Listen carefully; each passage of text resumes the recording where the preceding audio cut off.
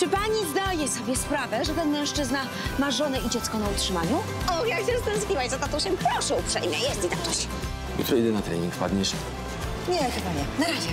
Nie, bój się, nie stracę dla ciebie głowy. To musi być straszne stracić dziecko. Krzyś teraz poszedłby do szkoły, wiesz? Kochanie, jakiegoś takiego spiętego wyglądasz. Postaram się coś z tym zrobić. Przyjaciółki. Nowy odcinek w czwartek o 21.10.